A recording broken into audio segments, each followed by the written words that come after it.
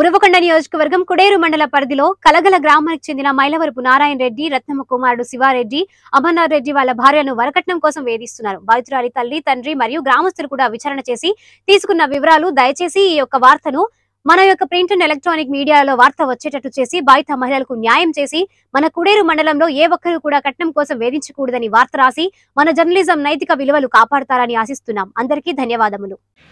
ఐదు నెలలు అయింది నా ఐదు నెలల కిందట ఫ్యామిలీ కోర్టులో బాగా చూసుకుంటానని చెప్పి పిలుచుకొచ్చుకున్నాడు నా మళ్ళీ పోలీస్ స్టేషన్ తరపున కేసు వచ్చింటే దాంట్లో కూడా నేను బాగా చూసుకుంటానని నాతో బలవంతంగా సంతకాలు పెట్టించి చేసినాడు. తర్వాత అంతకు ముందు అప్పటి నుంచి టార్చర్ ఎక్కువైంది నా కేసు కాడ రాజీ అని సంతకాలు పెట్టి వచ్చిన తర్వాత టార్చర్ ఎక్కువైంది. అంత లోపలే ఒకసారి మా అత్త మా మామ కొట్టి బయటకు నూకింటే పెద్ద మనుషులు వచ్చి వదిలేసిపోయినారు నా ఏ దాంట్లో జాబ్ చేస్తారక్క మీ భర్త? ఎస్కాట్. ఎస్కాట్ ఎంత శాలరీ వస్తుంది? తెలీదు నా చెప్పడు. నీకు అవసరం లేదు అంటాడు నువ్వు భార్య ఏ శాలరీ వచ్చే విషయం అయితే మీకు తెలియదు. నువ్వు భార్యవు కాదు నువ్వు వ్యవచారివి అని చెప్తాడు. నేను భార్య కాదని. ఎంతమంది కూతుర్లక్క మీకు? ఇద్దరు. ఇద్దరు కూతుర్లు. ఎప్పుడు జరిగింది ఈ గొడవక? ఈ గొడవ నిన్న తల వగలు కొట్టేదైతే నిన్న జరిగిందన్న నిన్న ఫోన్లోనే బెదిరించినాడు. హైదరాబాద్ నుంచి నైట్ వచ్చి తెల్లవారుజామున వచ్చినాడు. రావడం రావడమే ఇట్లా తల బగలు కొట్టేసినాడు. చంపాలని చూసినాడు తప్పించుకోవడం వల్ల తల ఒకటి పగలదు. ఫైనల్గా ఏం న్యాయం కలవక మీకు? నాకేదో ఒకటి న్యాయం చేయాలన్న. నేనైతే తనతో తను నా ప్రాణాలు తీస్తాడున్న నా ప్రాణానికి హాని ఉంది. మా అమ్మని మా నాన్నని మా చెల్లెల్ని మమ్మల్ని అయితే చంపేస్తాడున్న చెప్తున్నాడు. పోలీస్ స్టేషన్కి పోయినా జైలుకి పోయి వచ్చినా మీ అంత చూస్తాను అని చెప్తాడున్న. ఎవరు మీ అత్త మామ పేరు చెప్పండి. మా అత్త మా అత్త రత్నమ్మ మా మామ పేరు చెప్పండి. రత్నమ్మ. పూర్తి పేరు? మైలారాపు రత్నం. మైలవరపు రత్నమ్మ మా అత్త. మా మామ మైలవరపు నారాయణ రెడ్డి. మా మర్ది అమర్నాథ్ రెడ్డి. ముగ్గురు వల్ల మీకు ఇప్పుడు ప్రాణభయం ఉందా? అవును. మా భర్త శివారెడ్డి మైలవరపు శివారెడ్డి. నలుగురు వల్ల నాకు ప్రాణహాని. నాకనే కాదన్నా మా కుటుంబానికి మొత్తం ప్రాణహాని. పిల్లలు ఇప్పుడు మీ దగ్గర పంపిస్తున్నాడక్క మీ భర్త? పిల్లలు కూతుర్ని? ఇంతవరకు పంపించడం లేదు. పంపిడు. నీకేం హక్కు ఉంది పెట్టుకోనికి మా అమ్మ మా నాన్న దగ్గర పెట్టాలా నీకు హక్కు లేదు ఇక్కడ ఉండొద్దు అంటాడు? లక్ష్మి. చెప్పండి అక్క మీకు ఎప్పుడు పెళ్ళి ఏం కదా? అక్కడ నుంచి స్టార్టింగ్ చెప్పండి మాది రెండు వేల పద్నాలుగు ఆగస్టు రెండు పదహైదు పెళ్ళయిందన్న. నా పెళ్ళయి తొమ్మిది సంవత్సరాలు. పెళ్ళైనప్పటి ఎన్నాళ్ళు మీరు బాగున్నారు?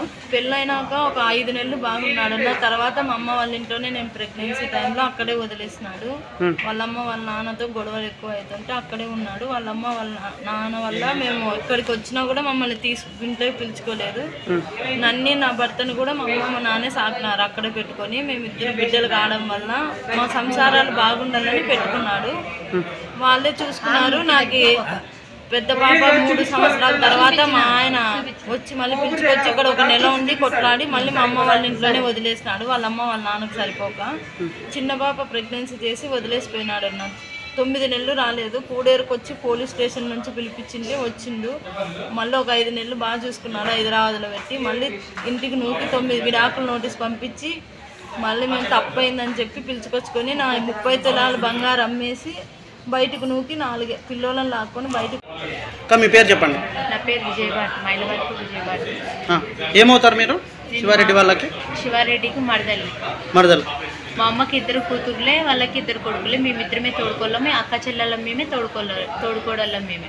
ఇంట్లో శివారెడ్డి ప్రవర్తన ఇలాగే ఉంటుందా? మీరు చూస్తుంటారు కదా ఎలాగో మీ మరిది ప్రవర్తన? ఇలాగే మీ బావగారి ప్రవర్తన ఎలాగ ఉంటుంది? ఎనీ టైం నువ్వు భార్యవి కాదు నువ్వు లంజవి అది ఇదని చాలా హరాస్మెంట్స్ అయితే చాలా ఉన్నాయి. ఉం. కట్న వేదనలు ఎప్పటి నుంచి వస్తున్నాయి? అదనపు కట్నం ఫైవ్ మంత్స్ నుంచి? ఉన్న బంగారం అంతా అమ్మేసినారు మా అక్కది నాది అంతా.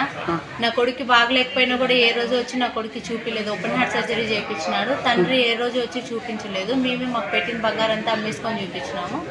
నాకు ఇల్లు రెండు సెంట్లలో మూడు ఇల్లులు ఉంటే ఇచ్చింటే అదంతా అమ్మేసి బ్లాక్మెయిల్ చేసి కొన్నట్టు రాయించుకొని మొత్తం అమ్మేసి ఇప్పుడు ఇంట్లో నుంచి మీ అమ్మ వాళ్ళు ఖాళీ చేయాలని ఇంట్లో హరాస్మెంట్ అయ్యేది నా భర్తతో.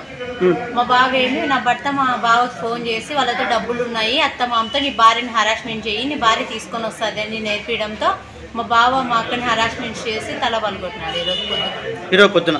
నన్ను కూడా కాళ్ళు ఒకరు మా అత్త మా మామ కాళ్ళ మీద మా అత్త కాళ్ళ మీద కూర్చుంటే మా మామ తల పట్టుకొని మా బావని చంపురా దీన్ని కూడా చంపు అని చెప్పినారన్న. కానీ మా బావ ఎందుకో వేయలేదు. మూగి దెబ్బలు తగిలినాయి కానీ నాకు బయటికి కనపడేదట్టు తగలలేదు. ఓకే ఇప్పుడు మీకు న్యాయం ఏం కావాలి చెప్పండి. మాకు న్యాయం